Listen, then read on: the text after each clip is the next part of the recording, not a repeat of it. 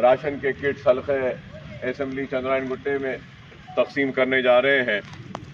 और चंद्रायन गुट्टे में 4,500 और 500 दूसरे इलाके में है। तो मैं तफसीलात देता हूँ कि हम रियासत नगर में साढ़े पाँच सौ राशन के किट्स आज तकसीम करेंगे। ललिता बाग में साढ़े पाँच सौ कंचन बाग में पाँच सौ चंद्रायन गुट्टा में पाँच सौ पचहत्तर ओपूगुड़ा में छः सौ जंगम मेट में साढ़े पाँच सौ बारकस में आठ सौ आठ सौ पच्चीस मतलब बारकस ये बल्दी डिवीज़न है, जिसमें बल्लागुड़ा, ये पूरा एरिया नूरी नगर ये एरिया आता है गौस नगर फिर सलाला और बारकस के लिए, सिर्फ़ सलाला और बारकस के लिए भी ढाई सौ दिए जा रहे हैं। अलियाबाद के लिए एक सौ और फिर सैद अली चबूतरा, वो इलाका है, वहाँ पर भी एक सौ। और फिर बंजारा हिल और दूसरा इलाका है वहाँ पे एक तीन सौ। तो इस हिसाब से हमने इसको करीब पाँच हज़ार राशन के किट्स आज तकसीम करने जा रहे हैं। और अभी तक हम चार करोड़ से जायद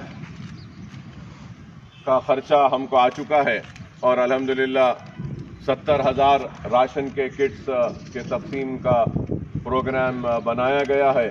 और ख़रीब चालीस से पचास हज़ार के करीब हम अब तक तकसीम कर चुके हैं और रोज़ाना तीन हज़ार लोगों के खाने का भी इंतज़ाम किया जा रहा है। तो अब तक करीब हम तीस से पैंतीस हज़ार लोगों को खाना भी खिला चुके हैं सालार मिलत एजुकेशन ट्रस्ट की जानब से। तो अलहमदिल्ला अल्लाह का शुक्र है कि अल्लाह सुबहाना ताली हमसे काम ले रहा है।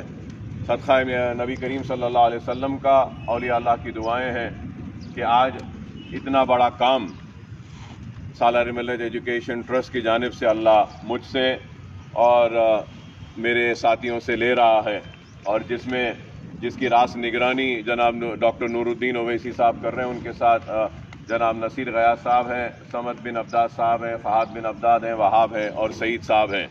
इन चारों की निगरानी में पूरा अनाज ख़रीदा जाता है, यहाँ तक लाया जाता है, उसके बाद इसकी पैकिंग की जाती है और यहाँ से इलाक़ों में रवाना करने के लिए पूरे इंतज़ाम किए जाते हैं। और काबिल मुबारकबाद है मंदिर इतिहादमसलमिन के हमारे कॉरपोरेटर साहिबान के वो सारे दिन रात मेहनत कर रहे हैं। जनाब सलीम बेग साहब हो, जनाब शाह साहब हो, जनाब वहाब साहब हो, और हमारे आज़म साहब, और हमारे फ़हाद बिन अब्दास साहब, और हमारे पूरे कॉरपोरेटर्स, नुमाइंदे कॉरपोरेटर जो हैं, शाह साहब और हफीज़ पटेल साहब ये सारे लोग मिलकर काम कर रहे हैं और मजलिस इतिहाद मुस्लिमीन के कारकुनों की जानब से। तो मैं ज़रूर कहना चाहता हूँ, फिर से कहना चाहता हूँ कि यह अनाज गरीब, अमीर, बड़े, छोटे के लिए नहीं है। ये अनाज जो हम भेज रहे हैं, किट्स हैं, ये भूखों के लिए है। सबसे पहला हक भूखे का है और बिलखसूस उन लोगों का जिनके पास राशन कार्ड भी नहीं है या राशन कार्ड बंद हो चुका है और घर में कुछ भी नहीं है, उनका सबसे पहला हक है। तो हम कोशिश कर रहे हैं और मैं ये भी ज़रूर कहूँगा कि हो सकता है कि हम हर घर तक पहुँचने में नाकाम हैं, लेकिन हमारी कोशिश है कि पहुँच सकें। और हम कोशिश कर रहे हैं इन कहीं पर नहीं पहुँच रहा है तो फिर हम कोशिश करें कि वहाँ पर पहुँचें। तो मैं आप तमाम का ममनून हूँ मशहूर हूँ कि सारे लोग आज काम कर रहे हैं और ये वक्त है कि हम सबको काम करना है।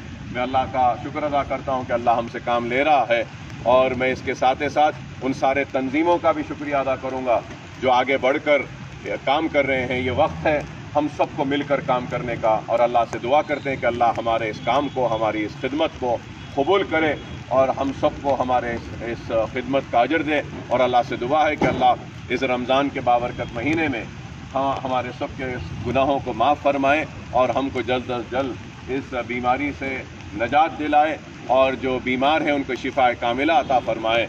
जो मखरूस हैं उनको उनके कर्ज़ों को दूर फरमाए। जो परेशान हाल है, मुसीबत ज़दा है, अल्लाह से दुआ है कि अल्लाह इन परेशान हाल मुसीबत ज़दा लोगों की परेशानी को, मुसीबतों को दूर फरमाए और हम सबको नेक करे, हम सबको एक करे और हम